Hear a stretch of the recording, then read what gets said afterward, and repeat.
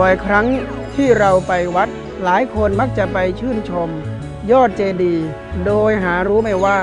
กว่าที่เจดีย์แต่ละองค์นั้น จะสูงตระหงานโดดเด่น เป็นสง่าราศี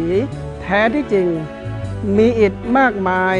ยอมตนฝังจมดินจมทราย เพื่อเป็นรากฐานให้แก่อิฐก้อนต่อๆไป ในทางประยุกต์เราสามารถนำเรื่องนี้มาปรับใช้กับเรื่องคนที่ประสบความสำเร็จ นั่นก็คือเวลาที่เรามองความสำเร็จของใครก็ตาม อย่าลืมมองไปถึงใครบางคน ที่อุทิศตนเป็นอิฐก้อนแรกให้กับคนเหล่านั้น เหมือนที่ท่านพุทธทาสทิขุ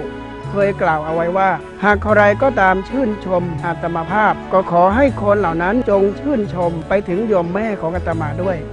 ราะว่าหากไม่มียมแม่ อุทิศตนเป็นอิฐก้อนแรกของส่วนโมก ก็ไม่มีท่านพุทธทาสในวันนี้ คมธรรมประจำวันนี้ก็คือ